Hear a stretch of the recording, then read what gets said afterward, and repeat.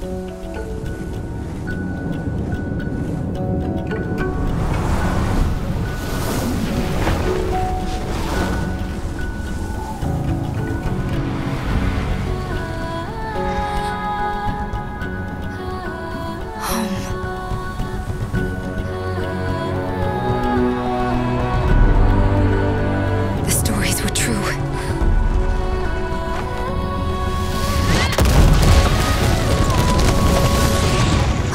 follow this path until the end.